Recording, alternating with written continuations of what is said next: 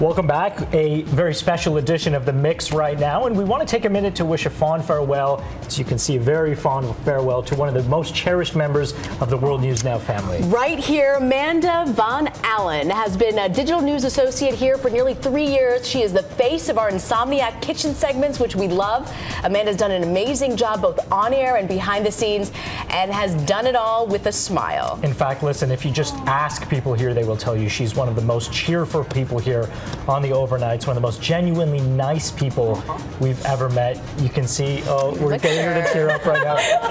It's a highlight reel. And let's let her tell everybody where you are going next. Yes, I am making a huge leap. I am becoming a reporter now. Um, I'm going to FiOS One um, in Long Island, so I'm not going very far. I'm super, super, super excited. Um, I've done lots of on-air stuff here, but now it's time for me to um, go out and do reporting. So I'm really excited. We are so excited for you, Amanda. Thank you guys so much. And to all of you guys and to all of the fans, I really appreciate all the support. Everybody's been so great and so sweet and so kind. And yeah, thank you guys so You're going to be a reporter, get used to it. Yes, I am. And you might need snow boots. yeah, just just just a couple Winter pairs. weather is a big story in this area. I'm sure.